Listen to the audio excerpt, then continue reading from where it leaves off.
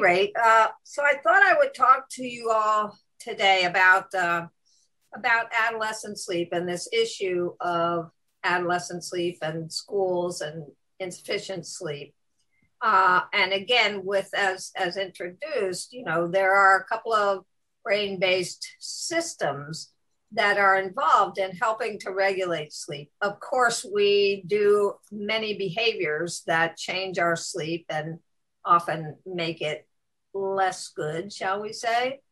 Uh, but one of our seminal findings has to do with clocks, the biological clock in adolescence. So this cartoon just shows that, you know, an adolescent whose brain clock, and the brain clock doesn't really look like this. Uh, it's a paired nucleus deep within the brain. It's sort of if you had a geographic center of the brain, that's where your master clock lives. And, uh, you know, you can see, well, there's this uh, inappropriate connection between the school system's clocks and the adolescent's brain clock. And so we found a number of years ago that one of the things that changes during adolescent development is the timing of this clock and the way that your phase position gets a little later as you pass through puberty. And with that in mind, it's not just your, uh, you know, your eating and your activity and so forth that change. And it's not just, you know, that your bedtime gets later, but your time of waking up gets later, your natural innate time. And so that's a challenge that really gets in the way uh, for adolescents getting enough sleep when they have to be in school so early.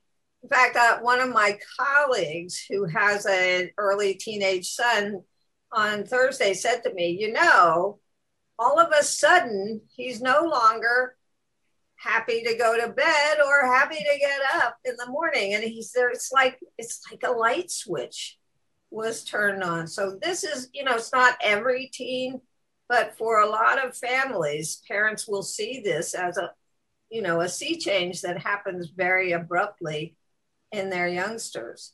And so the other side of this that uh, was mentioned is so we have our clock, but we also have the brain systems that regulate how much sleep we need and how sleep pressure accumulates while we're awake and then gets dispelled or recovers when we're asleep. Our research has also shown that that process itself changes not in how fast recovery occurs. So we think, oh, the amount of sleep that's necessary isn't really changing, but how fast sleep pressure builds up.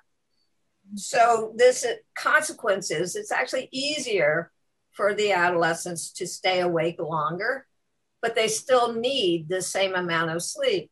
So when and then of course not our biology but also the brain is impacted by all of these other things that go on and, including screen time and and social interactions that teens will prefer to do at night and keep them from sleeping. And so, in combination, sleep kind of gets squeezed out of their lives uh, when they have to be in school early. So that's a that's a real challenge for teens and families to negotiate.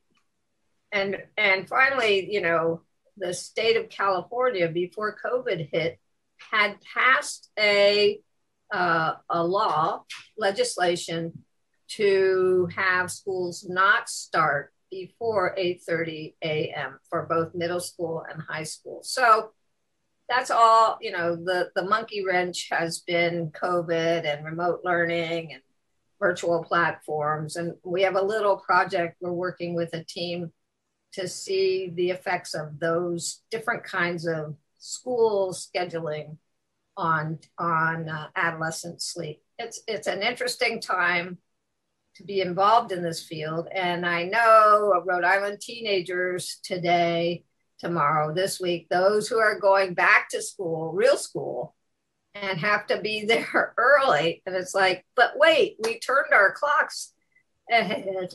And it's a huge challenge, especially this week. So the adjustment will take a while. And I think everybody, um, you know, knows that. So I'll stop there and field any questions that may come in. Thank you, Dr. Carskadon. Uh, I have a question um, regarding uh, sleep and students. Uh, are there any, are you aware of any um, real life, real world examples of uh, school performance being um, uh, changed or improved uh, by changing the, the start time? Oh, yes. Yeah. There are quite a few actually. But, it, you know, what's interesting is that it's so hard to get a handle on the academic performance of teenagers because every school and even every year will have different approaches.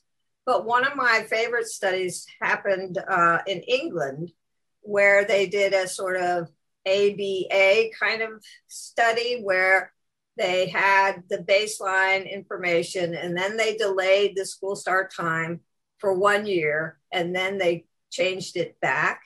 And their outcome measure was the national testing service. So their, you know, their control group was the entire uh, nation of teens. And they indeed saw that those scores on the nationwide testing were much higher, i.e., better, in the time when school start time was delayed than before or after. So, it, and in comparison to the students who didn't have that uh, change occur. So, you know, and there are other things people have looked at. One of what I feel, you know, some people are there, well, so what? They have to learn and grow up and, you know, adjust like we all do. But there's pretty much evidence now that changing the school start time to a later time also minim- diminishes the number of automobile crashes with teen drivers. And some of those crashes have lasting impact on the kids, and some are uh, fatal. So there are kind of big issues that can emerge. And I, just one final thing I, I'm not good at sound bites.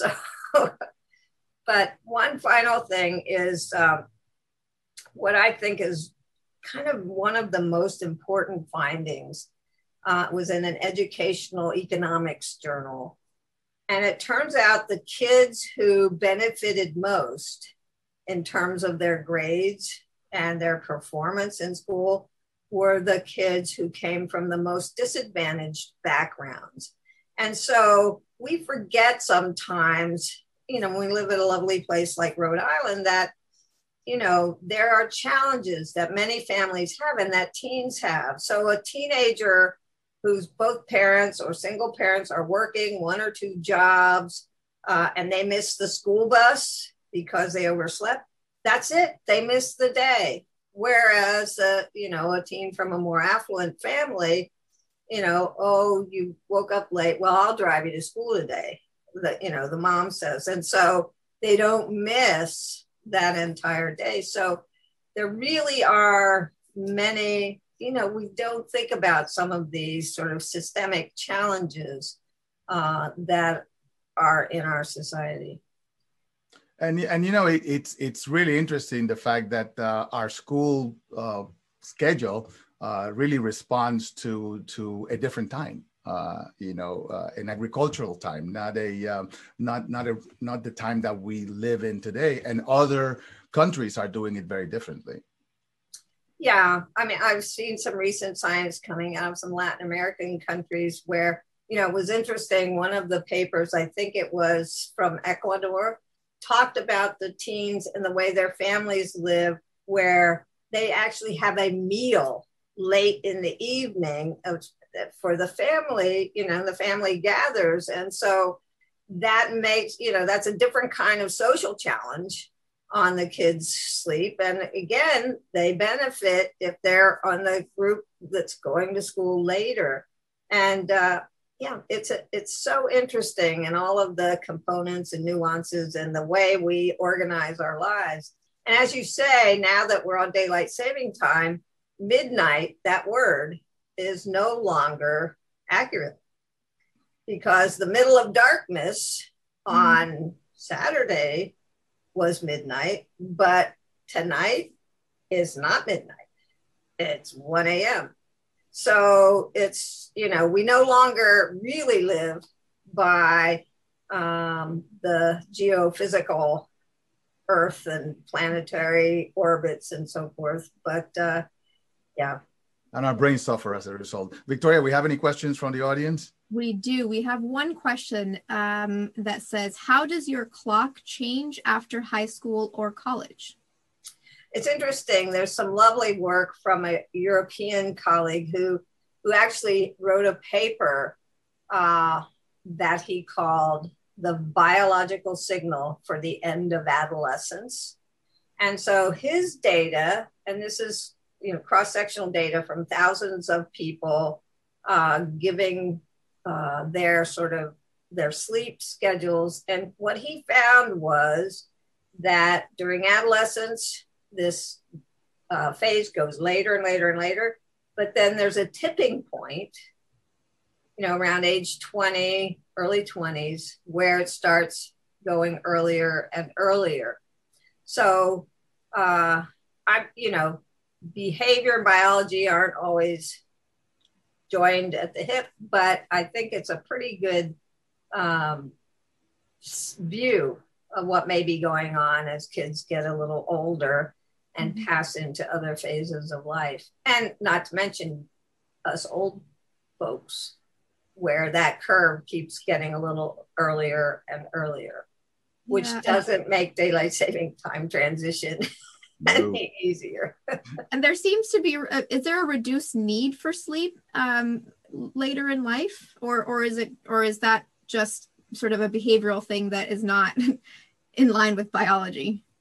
That's a very uh, complex issue and it's still fraught with a little bit of, uh, uh, I guess, challenges in the field and a little disagreement. But it does appear that the need for sleep does decline uh, in older age. And and we don't know why we don't know how that is but we do know i mean I, one of the things to emphasize which i think is particularly important uh, for sleep and aging is that we still need our sleep and we need to get the sleep we need mm-hmm. because one of the important newly discovered uh, functions of sleep, if you will, is that it uh, it engages a system that clears toxins from the central nervous system. So it's like the you know the cleanup crew for our brains and there's some evidence that the kinds of things it's cleaning out are the kinds of things that are involved in these sort of late age uh, dementias and problems that occur. And so, you know, you, you ignore your good sleep at your peril. Mm, right. So we have a couple of questions coming in now. Uh, one question says, is there research on how depression and anxiety impact adolescent sleep? and their ability to wake up early in the morning for school? That's a great question. And, you know, we always think there's a two way street between those mental health issues and sleep, and that uh, improved sleep will improve mental health, you know, issues, and poor mental health will make sleep worse. And so there is evidence that for that, what was suggested that uh, well, implied was that anxiety and, and depression, especially when very serious, will challenge teens even further to get up in the morning. But I caution to say that, you know, the street runs the other direction as well. And if we don't, it's another thing we know if we're not paying attention, especially for teens getting adequate sleep, they will show more greater signs of anxiety and depression. And and you know you worry about when that flips into um, sort of impulsive behavior that can lead to suicide Yeah, absolutely. Um, another question here is Can you train your mind to need less sleep? Example, six hours per night versus eight to nine. And I can see the applications of this if you had a job that required you maybe to to reduce your need for sleep.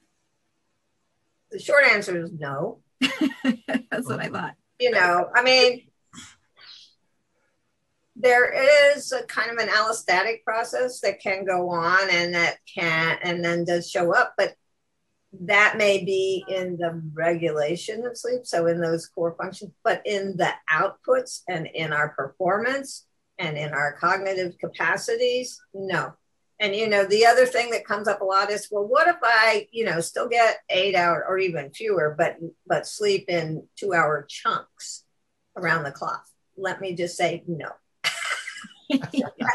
it's not like a bank account. no, it is in some ways. I mean, you don't want to overdraw for a long time. And, you know, and there's also the binging that a lot of people will mm-hmm. do, binge sleeping on the weekends. And that just makes your sleep irregular. And mm-hmm. there's plenty of evidence now for metabolic uh, consequences of sleep irregularity, as well as so too little sleep, irregular sleep, poorly mm-hmm. timed sleep, I mean, shift workers, I feel so bad for them because some of them are, you know, again, there's a sort of societal bias that the people working shifts are more often the people who are at the lower ends of the of society and they have no way out. It's just you know if they want a job this is the job that's available and that's really a challenge. And this 24 7 uh, society we live in really has a number of these hidden challenges that we don't always think about. Yeah. it's also tough for us uh, obstetrician gynecologists. There you go. Oh man. Well I, hopefully the pandemic will help shed some light on this issue. You know we have learned that we can survive working in a less you know active world. So hopefully that will be one of the ramifications uh, another question here is what is the effect, if any, of interrupting sleep at night or changing from a recliner to a bed, going to the bathroom, etc.? I don't know. I mean, you know, what we know is you know, interruptions happen and things go on. I mean, the worst case scenario, speaking of our OBGYN, is the next step for, which is the first step for parenting uh, with a newborn, and sleep is incredibly disrupted uh, for parents of newborns. I mean, that just is remarkable what happens to sleep. And again, there are downside consequences. But you know, switching from your recliner to your bed probably doesn't cause much harm. You want to, you know, there now there's data that light maybe is important uh, as anything, lights at night. But um, I mean, what that tells me though is that individual hasn't really planned sleep. they just fell asleep and now and not in their bed and now they have to get up and actually trundle off to their bed. So it's far better to have a plan for sleep uh, and not just wait until it overtakes you. Yeah, absolutely. And, and on that on that note, there are a couple of questions about screen time, and if you could just say a couple of words about what what your opinions on screen time are before bedtime. Sure, stop it. That's a couple of words. Uh, there's again, there's a lot of myth out there. Oh, as long as it's not blue light, it's no problem. Wrong. The the parts of your retina that uh, you know are specifically for blue light and do connect to this clock in the center of your brain also bring information from the other parts of your retina that are pulling in other uh, wavelengths of light. And so it gets integrated. So, you know, it doesn't help just to wear your blue blockers or put the blue screen blockers on. It helps some, but it's not the, the cure. So, you know, the later you have it, it just if you could just put those things away, turn them off, but you can still read a book, right? If reading a book is not bad. In the dark. So if you're doing it with Braille, that's right. Uh, that, that could work. I, you know, I remember when I was a teen, I would read. I would read and read. I would stay up late reading. That was before, yes, we had our uh, electronic devices. But I, again, it's this process that makes it easier to stay awake later. And then you get into the book or whatever it is that you're into. Maybe nowadays it's the video game that you're playing. And then, you know, it just sort of eats up mm-hmm. uh, your time and your sleep time. I have a question that I that I know is from a middle schooler uh, that doesn't have school today that says, "How come the early school time is not a problem for elementary school students?" Well, the thing is that those changes that happen to the brain systems that push sleep later because of the brain change, they happen in adolescence, and so most younger kids are protected for early, not super early. I'm not offer offering recommendations that even the, you know, the youngest kids should go to school super early. I think that's a mistake, especially in the 21st century, uh, where it really is hard for families to organize things uh, well. But but little kids, you know, they pop up in the morning with song in their heart and a smile on their lips uh, and you know hit adolescence and that just stops happening mm-hmm. and the younger kids they can't fight off sleep in the evening because that pressure to sleep builds up at a much higher rate much faster rate so you know the biology is different i guess is the main uh, response to that theory mm-hmm. I have one interesting question that has to do with migraines. Um, is there any link between lack of sleep and migraines?